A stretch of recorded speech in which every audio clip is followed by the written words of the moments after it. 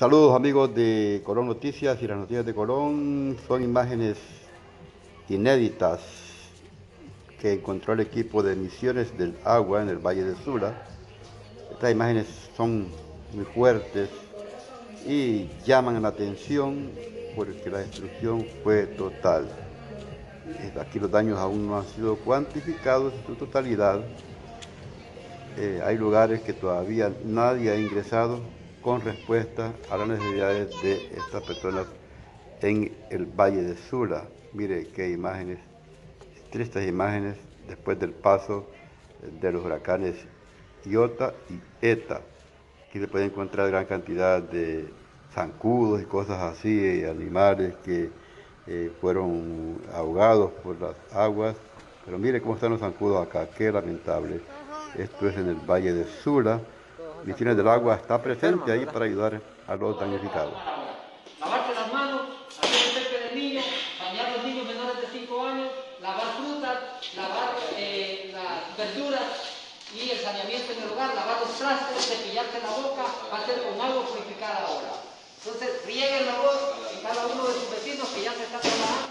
Y es que este es el equipo de respuesta de Misiones del Agua, quien está llegando a este sector del Valle de Sura para colaborar con las personas damnificadas, con el agua, que es un vital líquido en el cual no debe de faltar y que eh, desde el Departamento de Colón, esta noble institución, está apoyando a los damnificados, no solamente en el Valle de Sura, sino que donde hubo problemas, ahí están presentes. Pero estas imágenes corresponden a la presencia de grupos de respuesta inmediata de Misiones del Agua en los lugares afectados. Aquí enseguida vamos a hablar con uno de los pobladores, que fueron afectados y nos cuenta su historia.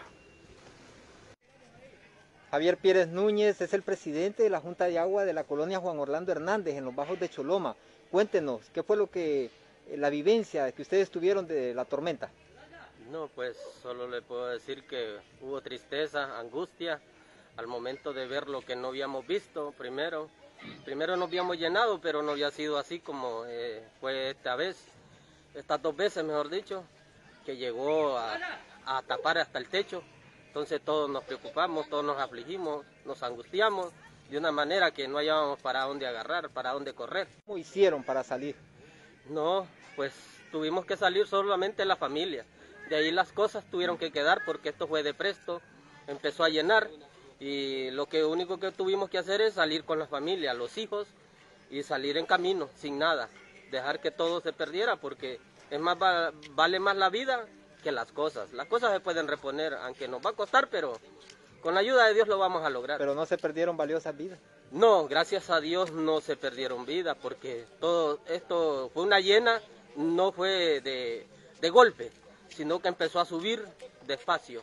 ¿Les dio tiempo? Las pérdidas fueron totales. Sí, fue total, totalmente. Nadie le quedó tiempo de sacar y los que pudieron sacar vinieron a la escuela y allá al kinder y llevaron sus cositas, pero cuando de presto estaba llenándose la escuela y el kinder y lo que habían sacado lo terminaron perdiendo. Ahora que retornan a sus hogares, eh, conmueve lo que ustedes vienen a encontrar.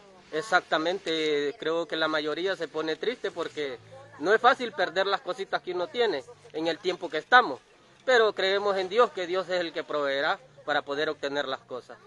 Muchas gracias. Es la triste realidad de las personas que fueron afectadas por el huracán Iota y ETA en el Valle de Sula y en muchos departamentos del país.